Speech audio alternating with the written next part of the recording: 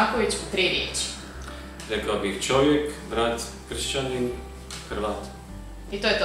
I to je to. Možda onda kao i svećenik, rekao bih svećenik, čovjek voljenog Boga, e, prijatelj mnogima, obogaćen prijateljstvima mnogih ljudi, evo, oduševljen, rekao bih, životom, morem ovdje u Dalmaciji, zemljom na kojem živimo, zabrinut ponekad. Evo, spomenuli ste svećenik, da niste svećenik, što bi bili? Pa mislim da bi se bavio možda glazbom ili nekom umjetnošću, možda sportom, povezivanjem ljudi. Mislim da bi svakako gledao da bude nešto socijalno osjetljivo i negdje gdje bi se pronašao isto kao, kao kršćan. Uglavnom, evo, mislim možda glazba, sport, umjetnost ili pak zemljoradnik. To moji su sa, sa sela i tu vidim nekako lijepo i bogatstvo biti na selu, tako da možda bi bio nekakav traktorist. Spomenuli ste i more i ovu našu e, obalu. Što vam je prva asocijacija na Dugi rat? Pa svakako Dom Bože. Dugi rat, ja sam upoznao Dugi rat preko Dom Bože.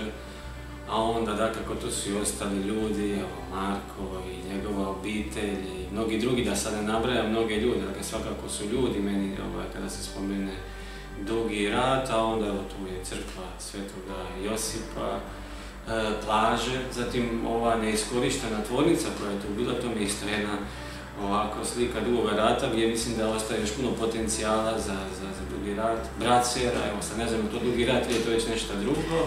I plaže, evo, plaže sa, sa dugi rat. kad smo već kod Dom Bože, koliko dugo ga poznajete kako ste se uopće upoznali? Mi smo se upoznali 2011. godine kada je on došao na obranu doktorata e, kolege svećenika Donedvata Punde i tad sam ga upoznao. Upoznao sam ga tako što smo slavili taj doktorat i Božo je bio vrlo raspjevan. I tad smo se povezali, onda mislim da redovito se jednom godišnje vidimo, najčešće u Dalmaciji, nekada i u Vukovaru. Dakle, postalo mi je vrlo lijepo mi sjećanju njegov dolazak i dolazak još drugih, mislim da njih četvorica su došli, dvije i 12. ili 2013. godine na dan kada su Gotovina Markač bili pušteni iz Haga i sjećam se toga dana njihovog dolaska tamo, pa uglavnom ostali smo povezani, onda preko Dom Bože sam upoznao i mnoge druge ovdje, trage ljudi u Tugarama i u. Je bilo u redu spomenuti Tugare kada je ovaj Bože kako bi onda opisali nekako u jednoj rečenici našu župu sada kad nas poznajete ne samo Dom Bože nego i ostale župljane? župa na lijepom mjestu uz more sa ljudima koji su vedri, e, župa koja ima zborove koji lijepo pjevaju, e, sa vjernicima koji dolaze redovito na misu, dakle to jutarnje ili večernje e, mise, župa koja je uz cestu gdje se dosta često čuje ovako promet, mislim isto župa potrebita jednog većeg pastoralnog centra, to je nekako moj dojam kada je pitanje župa, dakle gdje, gdje bi mogli se ljudi više okupljati, razumijem da je ovo isto mjesto gdje su kuća na kuću natrpani i kad bi bilo još nekako dodatno prostora, to mislim da bi bilo, to mislim da bi bilo ovaj, lijepo. Mi ćemo se sad od Dom Bože i naše župe, e, malo ćemo se posvetiti vama. Koji je vaš životni motor? Za mladomističko gesto sam bio odabrao e, riječi iz Ivanog Evanđelja, ja sam trs i loze i što dalje živim, to više mi je značajno to geslo u smislu dakle, da je Krist trs, a da smo mi loze, da iz Krista crpim snagu za život, da trs rađa grožem, odnosno vinom, odnosno pak radošću, i zaista i dalje kad bi birao neko ponovno geslo za mladu misu, izabrao bih, ja vjerujem, to ili nešto slično, gdje dakle vjerujem ukoliko sam ja i tek onda kada sam na, nacijepljen, ukoliko sam u kontaktu s Bogom, mogu kao čovjek, ne mislim sad kao svećenik, kao čovjek, kao kršćanin donijeti plod i tu mi je izvor života. Dakle, kratko, ja sam trs loza, to je za mene nešto što me jednostavno oduševljava i nosi onda evo i dalje u mom životu. A ovo ostali moji su iz e, vinorodnog kraja, bave se, brat se bavi dakle, trsom, odnosno lozom, vinogradima i zatim za mene to isto ima jedno vrlo lijepo značenje. Da, Koje predmete predajete na fakultetu? uvod u psihologiju, psihologiju religije, odnosno religioznosti, osnove pružanja psihološke podrške i pomoći, psihoterapijske tehnike i teorije i ja mislim da je to ta četiri predmeta. Dosta, svakako. da. Zaziru li vjernici i ljudi općenito te psihoterapije? Pa ja bih rekao da ne. Evo, ovi, mogu samo spomenuti od zadnjih tjedan dana da je sigurno 4-5 osoba nazvalo i tražilo pomoć. U međuvremenu sam upoznali različite ljude i mrežu ljudi, pa onda sada mogu upućivati kolegama, kolegicama ljude. Dakle, ja mislim da ne zaziru, nego da nažalost pod potrebom traže pomoć psihoterapije, E, također, e, vjernici e, češće traže pomoć od psihoterapeuta i savjetovatelja koji su i vjernici. Tako da mislim da je to um, potreba ljudi, nekada vrlo teška potreba ili zbog nekog teškog razloga traže pomoć, a nekada zbog blažih, blažih stvari, to su dakle od djece, roditelja, starijih, nevjernika također, odnosno osobe koje ne vjeruju, moj dojam, dakle, da to zavisi od osobe do osobe e, ima sigurno onih koji zaziru od psihologije, od psihoterapije i da vidi nekakvu opasnost u tome, ali ja vidim dakle veliku prednost. E, po vašem mišljenju, koji je možda neki najbolji savjet koji ljudima može dati jedan psihoterapeut?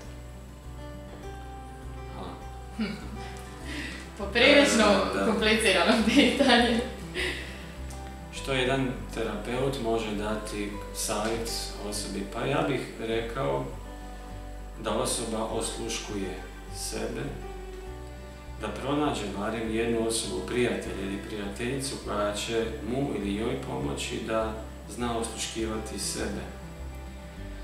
I mislim da ono najviše što mi možemo dati ljudima kao terapeuti i kao ljudi to da me netko zaista razumio. Moj, moj doživljaj i iskustvo sa već dakle, skoro devet godina rade u savjetovalištima, odnosno kao terapeut, kada nekome, kada netko doživi da ga je osoba, da je razumljeni, tada počinje zapravo proces jednog oporavka, integracije i zdravlja bih rekao. Dakle, evo, pronaći nekoga gdje mogu se izreći da doživim da me neko razumije. To mislim da je neizmjerno veliko bogatstvo. Biblija nam kaže ko nađe pravo prijatelja našao je bogatstvo. Dakle, rekao bih i da vode brigu o svom psihičkom, fizičkom, duševnom zdravlju i da to ne odgađaju za poslije. Ono, a, treba kod doktora, iću za mjesec, za šest, za godinu dana i rekao bih isto i na području psihe, ako primijetimo neku poteškoću, da treba onda što prije djelovati.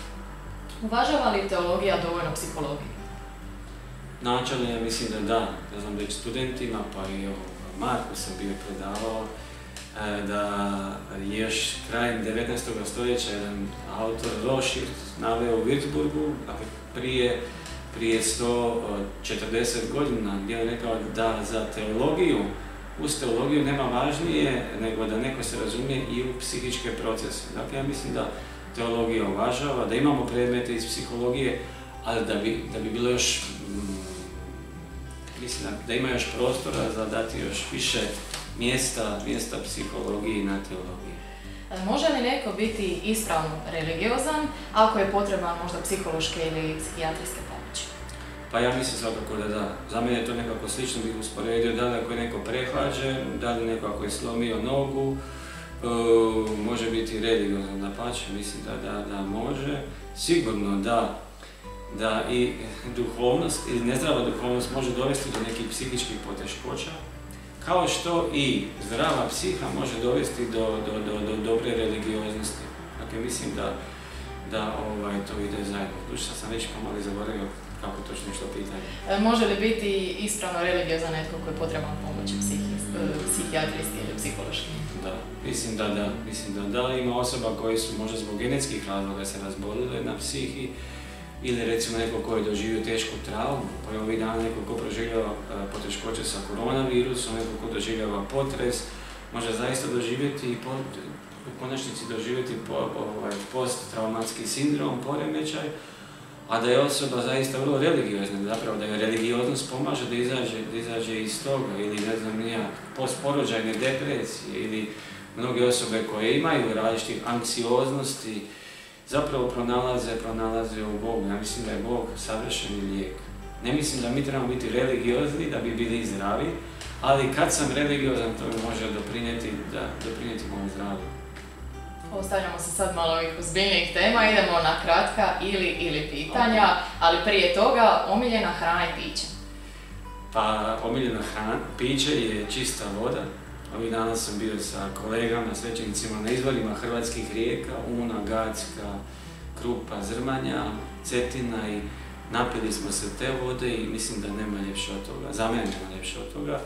A od voće, u zadnje vrijeme sam, bih istaknuo voće ovih dana, to su smokve ovdje u Dugome ratu, iz Dugoga rata i iz Tugara, dakle, rekao bih vode, voda i voće.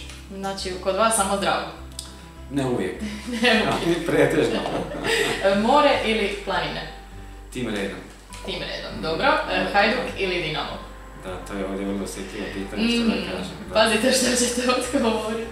Iako sam u dugom ratu, iako tu postoji grb e, Hajduka, moram reći da je mene tata vrlo brzo nakon rođenja učlanio u Dinamo, a prvi klub u kojem sam ja igrao nogomet, sa 6 godina sam počeo u pionirima, bio je NK Hajduk Babske. Ja sam iz Babske i tamo je dakle NK Hajduk, tako da pokušat ću e, preživjeti još dva dana u dugom ratu kao dinamovac. Dobro, nećemo cenzurirati pitanje. Omiljena glazba koju slušate? Mm, to su svakako tamburice, klape i klasika. A što vas najviše opušta? rekao bih svijest da sam od Boga voljen. Evo, dakle, iskustvo Boga i pronalazi, pronaći mir u njemu. To je nešto što mi uvijek iznova vraća mir. Vlastiti integritet, prijatelji, ali ovo bih rekao, dakle, nekako najdublje je ta iskustvo, iskustvo Boga koji, koji, koji, nas, koji nas je otkupio, koji nas ljubi, koji nam je Kristo pokazao koliko nas ljubi.